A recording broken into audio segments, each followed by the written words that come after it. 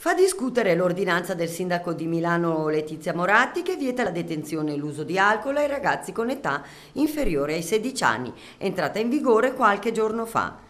Il problema è davvero serio considerando che l'Italia è tra i paesi europei con l'età media più bassa dei consumatori d'alcol. I ragazzi, secondo il Ministero della Salute, cominciano ad avvicinarsi all'alcol già a 12 anni. L'alcol viene metabolizzato da un enzima che si chiama alcol deidrogenasi, la quale trasforma l'alcol in acetaldeide ed altri prodotti di degradazione. Nel ragazzo questo metabolismo non è particolarmente sviluppato ed ecco che quindi l'alcol ingerito raggiunge velocemente picchi elevati nel sangue. Noi come genitori siamo responsabili della salute dei nostri figli e pertanto mai più daremmo da bere in casa nostra alcol a un bambino, nostro figlio che ha 12 anni. Il problema nasce quando il figlio, eh, nostro figlio che ha 12 anni esce, va in pizzeria per la prima pizza, gira praticamente i locali e non essendoci controllo eh, il bambino può assumere quello che, il ragazzino può assumere quello che, che, che vuole. Non è che si fa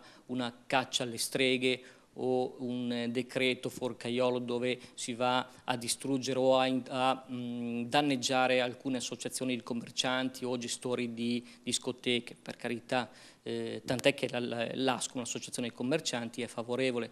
L'intossicazione acuta da, mh, da alcol può portare a poi quella che è la vera piaga sociale che è l'intossicazione alcolica. I numeri delle richieste di intervento al pronto soccorso e di ricoveri per alcolismo sono impressionanti. Una richiesta che è pervenuta questa mattina, anoressia, etilismo cronico, esclusione focolai, la ragazza è del 1985, quindi 24 anni. Capite che alcolismo, etilismo cronico in una ragazzina di 24 anni vuol dire che i problemi ci sono e eh, sono abbastanza seri.